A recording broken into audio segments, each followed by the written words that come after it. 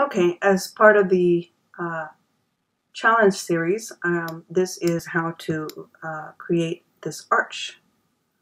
And it's nice because you can actually create an arch door for your building or your home, if that's what you want to use, to add, add a little bit more character uh, to your home. So let's go ahead and move this out of the way and I'll show you how I constructed that. All right. For this, I used a sphere, a cube, and a cylinder. I'll go ahead and leave those there in the 0, 0 coordinates. I will rotate this around. Oh, let me get this out of the way here.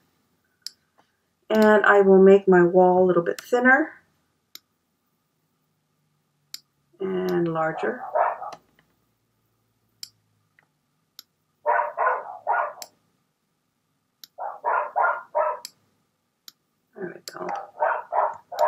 And then I will select my cylinder, make that a little bit longer in size. And over here I'm going to select my sphere and move that up right at the top of that cylinder. Increase the size by clicking and dragging in the center maintain its integrity there. I'm going to move that down just a little bit. Really what I want to do is I want to line up those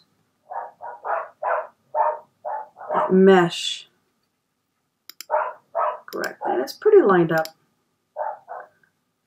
You can zoom in a little bit more. I can go to different views here as well. Make sure that those are fitting correctly. Maybe make that a little bit larger.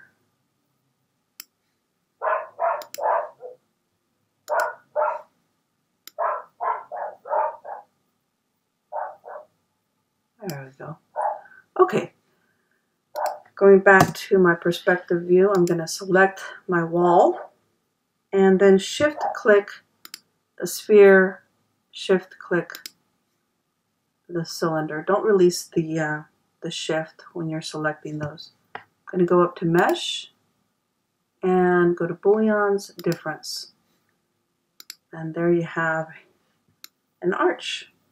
And that's how you create an arch there. So again, you can use these techniques to help you uh, model your home and add some uh, nice details. You can add a table with some uh, glasses on it, uh, um, you know, either outside or inside of your home.